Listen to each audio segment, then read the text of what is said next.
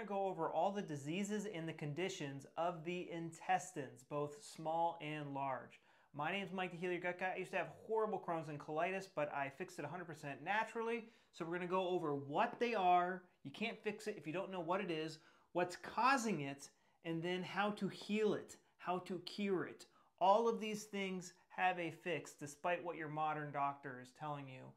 And holistic medicine, there's a much better remedy than what holistic medicine has to offer. Usually has you suffering on boring, bland diets for the rest of your life.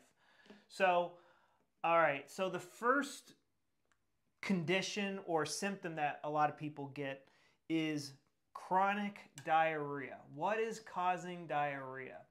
Uh, a lot of people think it's like a messed up gut microbiome. Now, most people who have messed up gut microbiome have diarrhea, but there's something very specific going on somebody with diarrhea. This process is controlled by the intestinal muscles. They collapse in an instant so like this holds like two liters of volume, let's say, when it's expanded, a colon, and then boom, let's contract all the muscles. Now we can only hold a liter,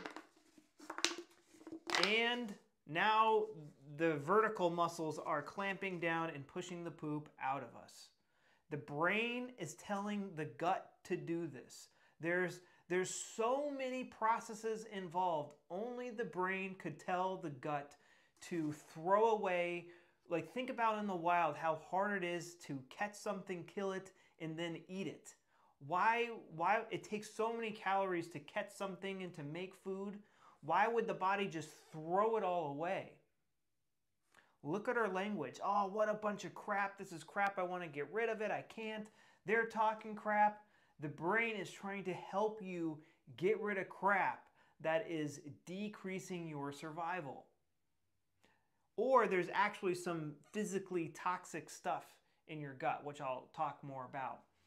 Now, with the other side of this, constipation, this is when the intestines open up they expand to hold, like, think about the biological purpose of diarrhea versus the biological purpose of constipation.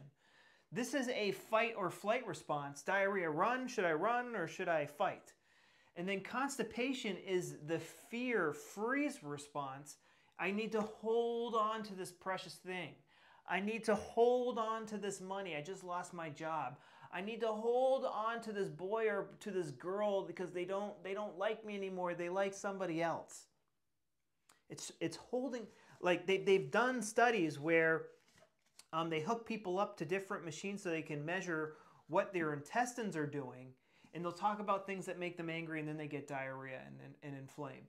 They talk about things that make them fearful and depressed and their, the, the muscles expand and open. Uh, and bloating. So all your intestines are, the intestinal muscles are opening up and expanding like that musical instrument goes down to this, then it goes to this. So that's what that's what's bloating.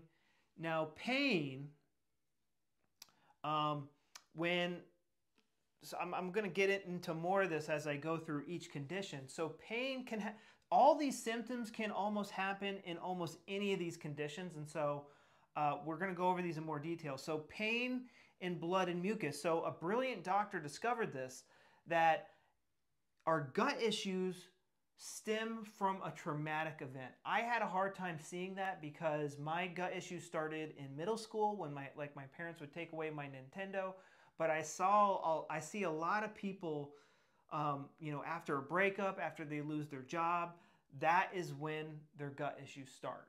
And it'll actually start around that time. They usually start for the first time when you resolve the conflict.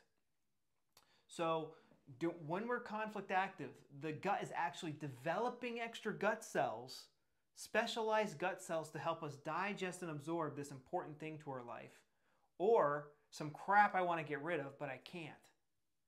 And when that gets resolved, the body gets rid of these high maintenance cells by like literally like tearing them away with bacteria and fungi, and that's when you get pain, blood, and mucus in your stool.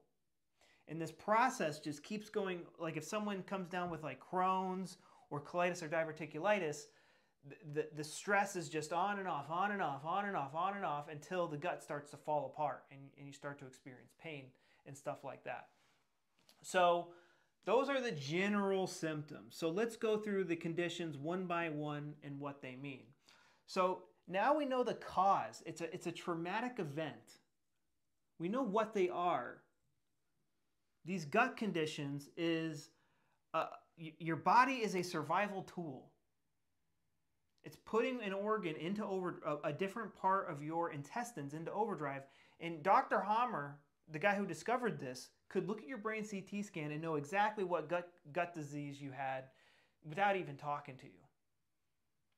So, what are these things? It's the body putting the gut into overdrive um, to respond to a traumatic event.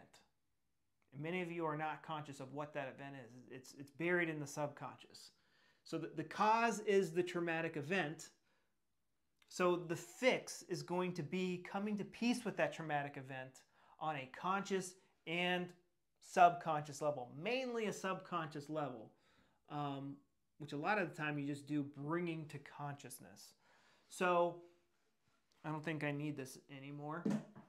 So bam, this is actually is an intestine thing, but it, it gets mixed up a lot of times. This gave me a lot of trouble because I didn't know what was going on bam, bile acid malabsorption. And it's actually, the, the body's not having trouble reabsorbing the bile. What's happening is that you're hitting a PTSD trigger, and this is going to be a territorial anger or an identity conflict. It puts your pancreas or your gallbladder into overdrive, and then all this bile gets dumped into your intestines and it's like it's like literally like bleach and the body's like your brain's like we got to get this out of here and you get diarrhea so if your diarrhea is like green and foamy and extra stinky and it burns when it comes out, then you probably have this going on right here. Then we have uh, uh, the duodenum, the duodenum, and the ileum.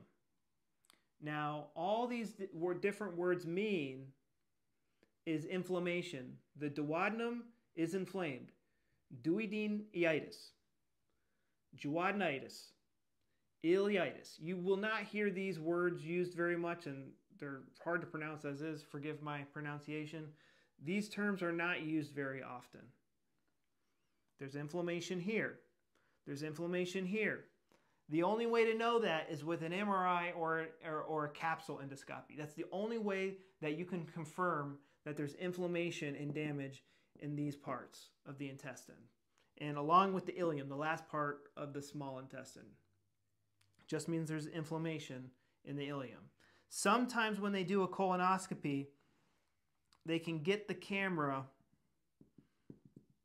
here and they can get it a little ways in here so they can confirm if there's inflammation in the small intestine in the ileum, the last part, with um, with a colonoscopy. But again, usually they follow it up with an MRI.